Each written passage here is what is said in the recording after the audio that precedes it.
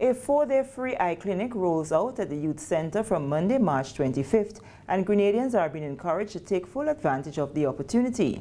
The clinic is sponsored by Roy Vincent in partnership with the Alliance of Jamaican and American Humanitarians, AOJA.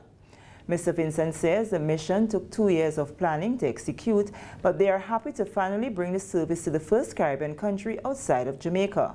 The mission is strictly eye care. So we're going to be testing uh, individuals, patients, um, making sure that we look for diseases of the eyes, we're looking for um, glaucoma, cataracts, etc.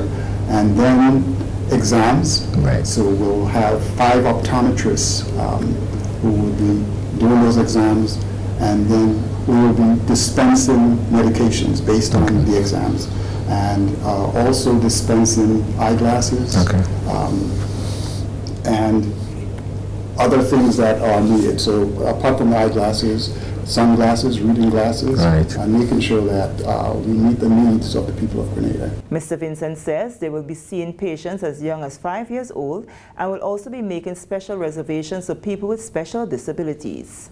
Anyone who has, you know, uh, problems with their eyes, problems mm -hmm. seeing, reading, you get headaches when you when you try to read or driving at night, etc you are a prime um, candidate. yes. Okay.